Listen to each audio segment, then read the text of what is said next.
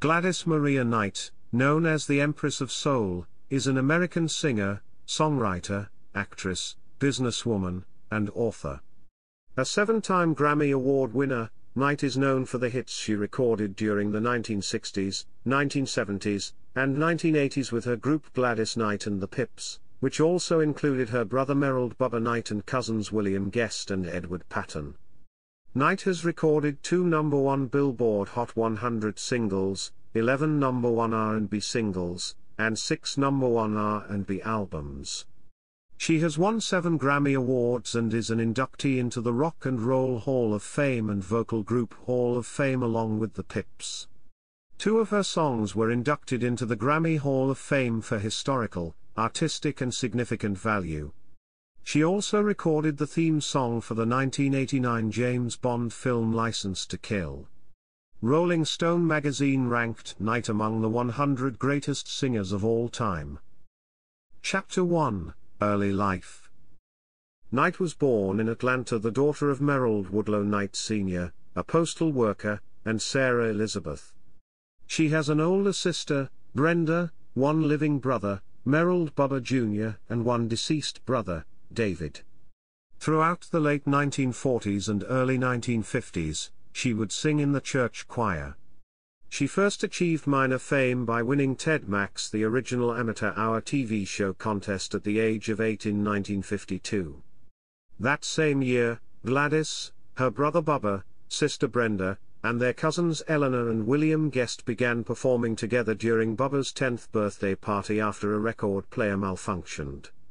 Shortly, the quintet agreed to form a group under the insistence of Gladys' mother Elizabeth Knight. They settled on the name The Pips, inspired by the nickname of their cousin James Pip Woods. By 1955, the group began performing on the talent show circuit in their hometown of Atlanta, winning each talent show they entered. This success allowed them to get a record contract with Brunswick Records in 1957. At Brunswick, the group released two recordings that failed to chart. Despite this, the group was now opening for top recording acts such as Jackie Wilson, and Sam Cooke. By 1959, Brunswick dropped the group, and both Brenda Knight and Eleanor Guest left the group to begin families. They were replaced by another cousin, Edward Patten, and a friend, Langston George. In 1961, they recorded the Johnny Otis penned Every Beat of My Heart. Because the group was without a record label, a local Atlanta label, Huntom Records, pushed the single and got a distribution deal with Vee-Jay Records to release the single. During this time, the group moved to New York, where they auditioned for Bobby Robinson's Fury Records. Upon learning that Every Beat of My Heart was already becoming a hit, and cutting the group out of profits, Robinson had the group re-record the song and re-release it on Fury Records. Both versions made the Billboard charts, with the Huntom slash Vee-Jay version reaching number 6 on the Billboard Hot 100. Prior to the re-release on Fury Records, the group changed their name to Gladys Knight and the Pips. Later in 1961, the quintet released the single Letter Full of Tears, which became another top 40 hit in early 1962. After a string of single releases on Fury Records, Langston George left the group in 1962. That same year, Knight left the group to start a family with musician and husband Jimmy Newman. In 1964, she returned to the group, and they signed with Larry Maxwell's Max label, releasing several modest hits produced by Van McCoy, including Lovers Always Forgive and the original version of Giving Up. Other notable songs they released on Max include Another Love, Either Way I Lose, Go Away, Stay Away, Maybe Maybe Baby, stop and get a hold of myself, who knows and if I should ever fall in love. Chapter 2 Success with the Pips. Gladys Knight and the Pips joined the Motown Records roster in 1966, and, although initially regarded as a second string act by the label, scored several major hit singles, including I Heard It Through the Grapevine, Take Me in Your Arms and Love Me, The Nitty Gritty, Friendship Train, If I Were Your Woman, I Don't Want to Do Wrong, the Grammy Award winning Neither One of Us, and Daddy Could Swear. In their early Motown career, Gladys Knight and the Pips toured as the opening act for Diana Ross and the Supremes. Gladys Knight stated in her memoirs that Ross kicked her off the tour because the audience's reception to Knight's soulful performance overshadowed her. Berry Gordy later told Knight that she was giving his act a hard time. The act left Motown for a better deal with Buddah Records in 1973, and achieved even greater mainstream success that year with hits such as the Grammy-winning Midnight Train to Georgia, I've Got to Use My Imagination, The Way We Were Slash Try to Remember and Best Thing That Ever Happened to Me. In the summer of 1974, Knight and the Pips recorded the soundtrack to the film Claudine with producer Curtis Mayfield, which included the songs On and On, The Makings of You and Make Yours a Happy Home. The act was particularly successful in Europe, and especially the United Kingdom. However, a number of the Buddah singles became hits in the UK several years after their release in the US. For example, Midnight Train to Georgia hit the top 5 of the UK singles chart in the summer of 1976, a full three years after its success in the US during this period of high profile. Knight acted in the film Pipe Dreams, a romantic drama set in Alaska. The film failed at the box office, but Knight did receive a Golden Globe, Best New Actress nomination. Knight and the Pips continued to have hits until the late 1970s, when they were forced to record separately due to legal issues, resulting in Knight's first solo LP recordings, Miss Gladys Knight on Buddah and Gladys Knight on Columbia Records. After divorcing James Newman II in 1973, Knight married Barry Hankerson, then Detroit Mayor Coleman Young's executive aide. Knight and Hankerson remained married for four years, during which time they had a son, Shanga Ali. Hankerson and Knight became embroiled in a heated custody battle over Shanga Ali. In 1980, Johnny Mathis invited Knight to record two duets, When a Child is Born and The Lord's Prayer. Signing with Columbia Records in 1980 and restored to its familiar quartet form, Gladys Knight and the Pips began releasing new material. The act enlisted former Motown producers Nicholas Ashford and Valerie Simpson for their first two albums, About Love, which included the hit Landlord and Touch. In 1983, Gladys Knight and the Pips score again with the hit Save the Overtime. The song, under the artistic direction of Leon Sylvers III, was done in a soulful boogie style. The single was released from their LP Visions and reached number 66 on the Hot 100, but was more successful on the R&B where it hit number 1 for a single week in mid-1983. The single was the first time the group hit number 1 on the R&B charts since 1974. The video accompanying the song became among the earliest R&B videos to incorporate elements of hip-hop culture. The album also included the R&B hit Your Number 1. During this period, Knight kicked a gambling addiction to the game Baccarat. In 1987, Knight decided to pursue a solo career, and she and the Pips recorded their final LP together, All Our Love, for MCA Records. Its infectious lead single, Love Overboard, was a number one R&B hit and won another Grammy for the act as well. After a successful 1988 tour, the Pips retired and Knight began her solo career. Gladys Knight and the Pips were inducted into the Georgia Music Hall of Fame in 1989, into the Rock and Roll Hall of Fame in 1996 and the Vocal Group Hall of Fame in 2001. Chapter 3 Solo Music Career While still with the Pips, Gladys Knight joined with Dionne Warwick, Stevie Wonder, and Elton John on the 1985 AIDS benefit single, That's What Friends Are For, a triple number one mega hit which won a Grammy for Best Pop Performance by a Duo, or Group with Vocal. Knight shared a stage with Dionne Warwick and Patti LaBelle for the 1986 HBO special Sisters in the Name of Love. On March 27, 1988, Knight performed a rendition of America the Beautiful at WrestleMania 4 in Atlantic City, New Jersey.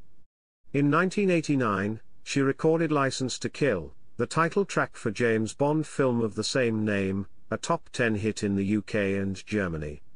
Knight released her third and most successful solo LP, Good Woman, on MCA in 1991, which hit number 1 on the R&B album chart, featured the number 2 R&B hit Men, and reached number 45 on the main Billboard album chart, her all-time highest showing.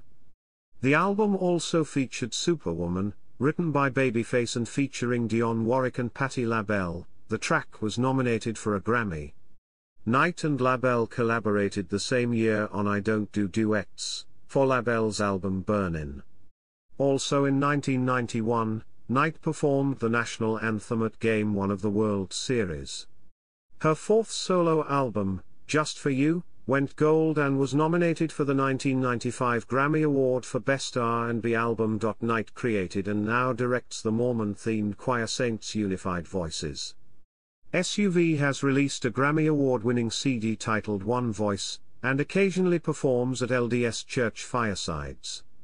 In April 2004, Knight performed during the VH1's benefit concert Divas Live 2004 alongside Ashanti, Cyndi Lauper, Jessica Simpson, Joss Stone, and Patti LaBelle, in support of the Save the Music Foundation.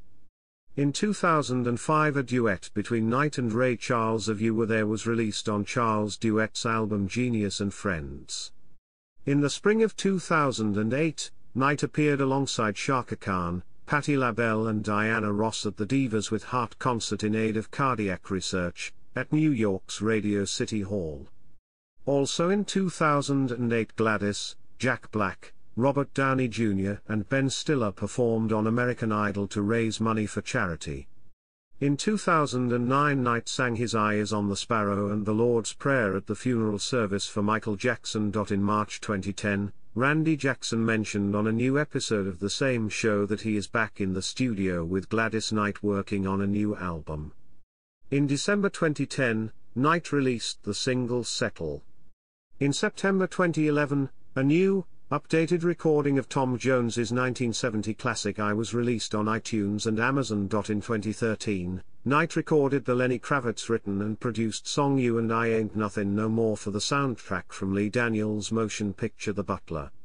The song was added to the movie's soundtrack of older songs with various artists so the producers could nominate it for Best Song from a Motion Picture category at the Academy Awards. Where My Heart Belongs marked her 30th Top 40 R&B album, including work by Gladys Knight and the Pips. In a 2014 interview, she expressed a hope that women would stand up and stop selling sex in the music-slash-entertainment industry. She commented that the growing trend saddened her heart, and that she had been taught to dress respectfully for her audiences, not take it off, put it on. Knight is ranked number 18 on VH1 Network's list of the 100 greatest women of rock. In 2019, Knight accepted an invitation to sing the national anthem at Super Bowl 53. She faced criticism for agreeing to perform due to the alleged blacklisting of Colin Kaepernick by the National Football League after he began protesting police brutality during pre-game anthem ceremonies. Similar criticism was expressed against the halftime show performers, Maroon 5, Travis Scott, and Big Boi. Knight defended her decision to sing, claiming to understand Kaepernick's reasons for protesting but criticizing him for kneeling during the national anthem. In 2019, Knight was invited to play at the 100th anniversary of Delaware State Fair, located in Harrington, Delaware. Chapter 3 Section 1 UK Farewell Tour In October 2009, Knight started her farewell tour of the United Kingdom which featured Tito Jackson as her supporting act and special appearances by Dionne Warwick. The UK farewell tour featured higher production values than previous Gladys Knight, a mic and a light appearances by Knight in the UK. A glossy program was available and the show featured pre-produced animation on large on-stage screens. The tour was promoted by an appearance on the TV program later with Jools Holland where Knight performed If I Were Your Woman and Help Me Make It Through the Night. At select performances on the UK farewell tour recordings of the concerts were made available for sale on USB flash drives. In spite of her farewell, Knight started touring the UK again a few years later, playing gigs in Scotland and England in 2015, 20,162,017 and 2019. Chapter 4 Acting Chapter 4 Section 1 Film In 1976, Knight made her acting debut as the lead in the film Pipe Dreams for which she was nominated for a Golden Globe Award for New Star of the Year, Actress. In 2003, she had a small role in the movie Hollywood Homicide, which starred Harrison Ford and Josh Hartnett. In 2009, Knight was featured in Tyler Perry's I Can Do Bad All By Myself, the film version of a play he had dramatized, and performed her song The Need to Be from the 1974 album I Feel a Song. Chapter 4 Section 2 Television In 1975, Knight starred in a variety show, The Gladys Knight and the Pips Show, which was cancelled after four episodes. She also guest starred on several TV series throughout the 1980s and 1990s, appearing on Benson, The Jeffersons, A Different World, Living Single, the Jamie Foxx Show, and New York Undercover. In 1985, she co-starred on the CBS sitcom Charlie and Company, alongside comedian Flip Wilson, which lasted for one season. In April 2005, she portrayed a singer in an episode of Jag. In April 2009, she made a special guest appearance, and performed a song, on Tyler Perry's House of Pain. Knight has also made a number of cameo appearances, including on Las Vegas and 30 Rock. In 2012, she began a recurring role in the syndicated sitcom The First Family. In 2012, Knight competed on season 14 of Dancing with the Stars, partnered with Tristan McManus. They were eliminated on April 24 after losing a dance duel to Disney Channel star Roshon Fegan and partner Chelsea Hightower ironically on the show's Motown Week. In 2017, she appeared as herself in the musical drama TV series Star. In 2018, she played Ella Grover, mother of Captain Lou Grover, in the Lele Puna Manu-like episode of Hawaii Five-0, which first aired on November 16, 2018. In February 2019, she was revealed to be the Beyond the Masked Singer, in which she placed third. She performed Chandelier, Locked Out of Heaven, Wrecking Ball, What's Love Got to Do with It, A Natural Woman, and I Can't Make You Love Me. Chapter 5 Gladys Knight and Ron Winans Chicken and Waffles. Knight's son Shanga Hankerson owns a chain of chicken and waffles restaurants based in Atlanta, bearing her name. Gladys Knight and Ron Winans Chicken and Waffles currently have three locations in the Atlanta area. One location was featured on the Travel Channel original series Man v. Food. On Tuesday, June 21, 2016, authorities in Georgia raided two of the restaurants and its headquarters. WSB TV reported that Shanga is at the center of an investigation involving unpaid taxes, penalties and interest. Georgia Department of Revenue Special Investigations Chief Jeff Mitchell told the station that the investigation solely involved Hankerson and not Knight. Shanga's accused of stealing over $650,000 in both sales and withholding tax, Josh Waits, a special investigator, told WSB TV. Penalties and interest, it's up to over $1 million owed. Chapter 6 Personal Life Knight has been married four times and has three children. At 16 years old, she became pregnant and married Atlanta musician and classmate James Jimmy Newman in 1960. She had a miscarriage, the couple went on to have two children. Newman became a drug addict and abandoned the family when Knight was 20. They remained married for over 12 years until 1973. Their son, James Jimmy Gaston Newman III was born on August 13, 1962. She retired from the road to raise their child while the Pips toured on their own. In November 1963, Knight had her only daughter, Kenya Maria Newman. Later she returned to recording with the Pips in order to support her family. In the early 1960s, Gladys, James, and the Pips moved to Detroit. Knight and her family lived on Sherbourne Road in Sherwood Forest, an upscale neighborhood on Detroit's west side. She also resided on LaSalle Avenue for a time. Her children attended Gesu Catholic grade school. After being separated seven years, Knight divorced Newman in 1973, and he died a few years later. In 1974, Knight married Barry Hankerson in Detroit. The couple had one son, Shanga Ali Hankerson, born on August 1, 1976.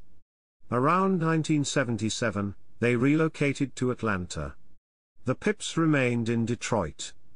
Their marriage ended in 1979 with a prolonged custody battle over their son. Knight spent over a million dollars looking for her son after he was kidnapped.